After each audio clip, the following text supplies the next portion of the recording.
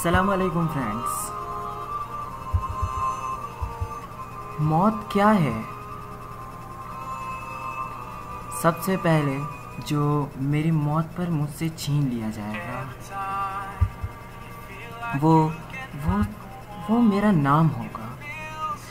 اس لیے جب میں مر جاؤں گا تو لوگ کہیں گے، لاش کہاں ہے؟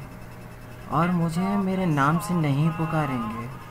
اور اور جب نماز جنازہ پڑھانا ہو تو تو کہیں گے کہ جنازہ لے آؤ۔ میرا نام نہیں لیں گے۔ جب جب میرے دفنانے کا وقت آ جائے گا تو تو کہیں گے کہ میت کو قریب کرو۔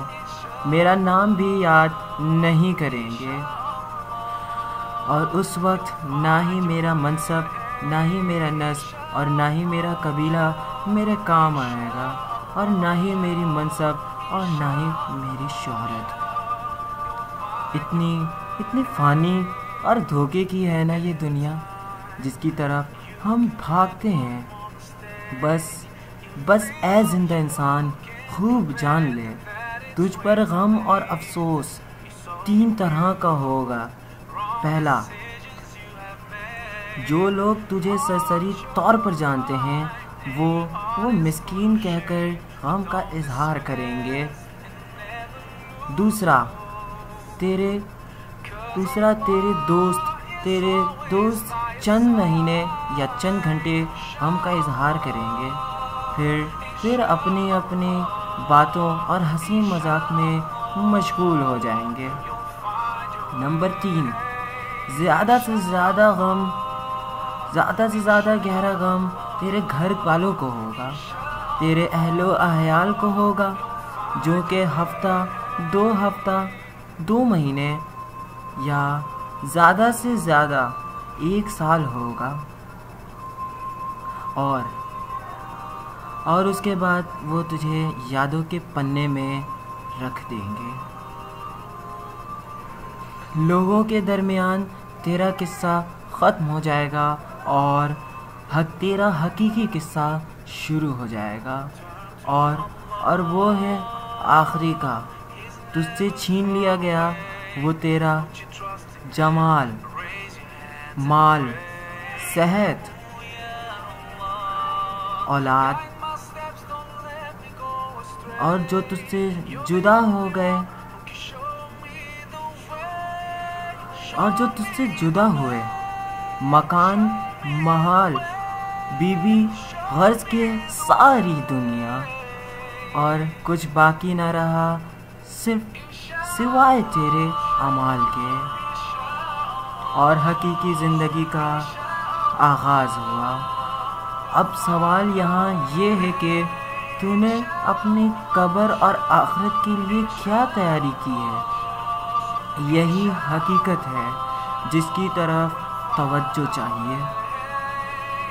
اس کے لیے تجھے چاہیے کہ تو اہتمام کرے اپنے فرائض کا، نوافل کا وشیدہ صدقہ اور صدقہ جاریہ، نیک کاموں، رات کی نمازوں کا، شاید کہ تو نجات پا جائے۔ اگر تو نے اس مقالہ سے لوگوں کی یاد دہانی میں مدد کی، جبکہ تو ابھی زندہ ہے۔ تاکہ اس امتحان گاہ میں امتحان کا وقت ختم ہونے سے تجھے شرمندگی نہ ہو۔ اور اور امتحان کا پرچہ بغیر تیری اجازت کے تیرے ہاتھوں سے چھین لیا جائے۔ اور تو تیری اس یاد دہانی کا اثر اپنے قیامت کے دن اپنے عمل میں پائے گا۔ اور اور یاد دہانی کرتے رہیے۔ بے شک یاد دہانی مومنوں کو نفع دے گا۔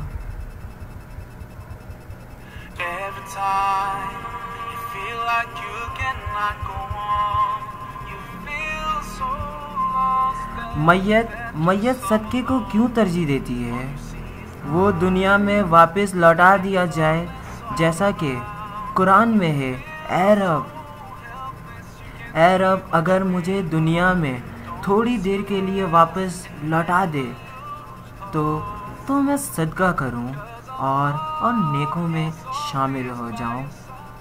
یہ نہیں کہے گا، عمرہ کروں، نماز پڑھوں، روزہ رکھوں گا۔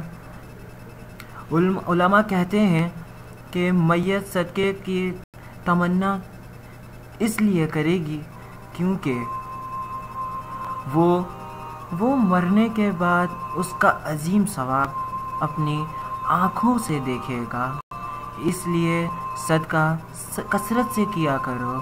بے شک مومن قیامت کے دن اپنے اپنے صدقوں کے سائے میں ہوگا۔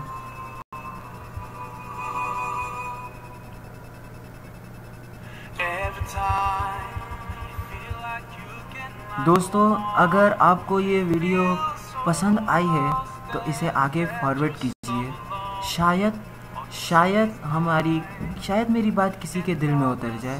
اسے WhatsApp Facebook Twitter Instagram Snapchat جہاں ہو، وہاں اسے فارورڈ کیجیے شاید شاید ہی میری بات اگر کسی کے دل میں اتر جائے تو اس سے آپ کو اور ہم سب کو فائدہ ہوگا۔ اس بات کے ساتھ کہ آپ لوگ اس ویڈیو کو فارورڈ کریں اور اس پر عمل کریں۔ آمین۔ سم آمین اللہ۔ ہم سب کو اس پر عمل سمجھنے اور عمل کرنے کی توفیق عطا فرمائے۔ آمین۔ خدا حافظ۔